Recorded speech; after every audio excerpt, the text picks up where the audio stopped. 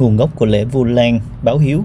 Ngày xưa khi Bồ Tát Một Kiền Liên tu thành chính quả thì tưởng nhớ đến mẫu thân và đã dùng tuệ nhãn để tìm kiếm người trong đất trời và thấy mẹ mình đang trong loài ngạ quỷ và bị đối khắc hành hạ khổ sở vì thương mẹ cho nên ngài đã thần thông xuống cái cõi ngạ quỷ và dâng bát cơm cho mẹ của mình.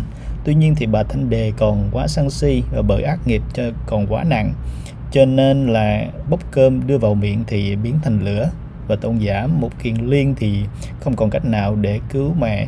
Nên ông liền quay về và hỏi đức phật. Và đức phật thì trả lời ông rằng là, dù ông có thần thông quảng đại thế nào đi nữa thì cũng không đủ sức cứu mẹ.